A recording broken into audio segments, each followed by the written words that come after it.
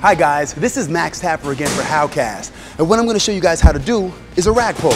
Now, a rack pull basically is a deadlift that you have some supports on the side where you can lay the weight, okay? So this is what it looks like. Bent hips as always, bent at the knees as always, and all we're doing is coming down to about this far and up. Slowing the way back down, rest, up. Slowing the way back down, rest on the supports, back up. So on the way back down, back up.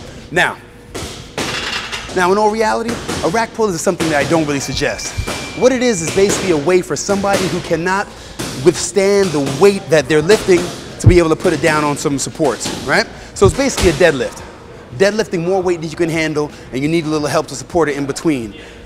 The way I see it is that just lift the weight that you can handle, get rid of these and just do a regular deadlift. But in the case you really want to know how to do a rack pull, this is how you do it.